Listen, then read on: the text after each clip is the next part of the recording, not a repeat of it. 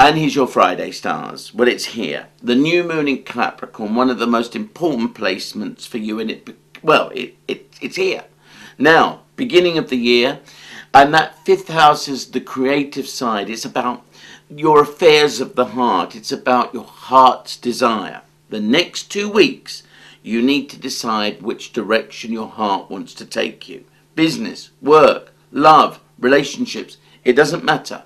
What's inside your heart? Because that's what you should be focusing on.